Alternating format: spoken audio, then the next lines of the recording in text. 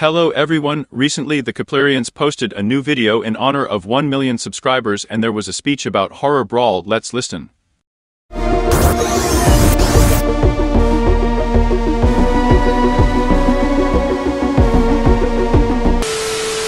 Oh, all right. I guess I guess we had to answer sooner or later, right, mommy?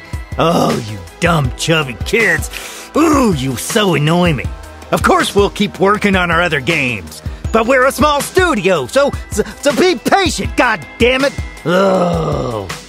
Like we mentioned before, developing games takes some time and updating games with new content also requires lots of time. So as a company we have to make decisions because time is limited. This is why we choose to invest time in what we think most people will play. We measure the success of our games and based on this we decide if we should keep investing time on them. Horror Brawl is a very special game for the simple fact it has many characters from the Keplerians universe. And all the designs are completely new. And this is why we worked so hard along with Campero Games. We spent lots of resources to create content for this game, but we didn't see good results.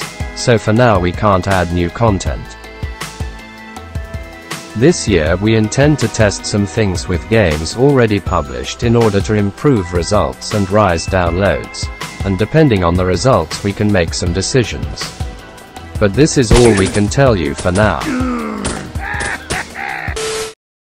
What I want to say about this horror brawl died not because there were few players but because there were few players but because the Keplerians and Campero were lazy and began to release less good content for example Euphoria games so their mimicry also seem to be few players, but they developed their multiplayer project and there are now players, and they play and they play and new ones are also added Horror Brawl. When the first season the first season players were the players were the second season players were season 3 players were the four season players were but they began to leave if Campero and Keplerians were not lazy then Horror Brawl gained popularity and Keplerians released their Ice Scream United which is not needed at all.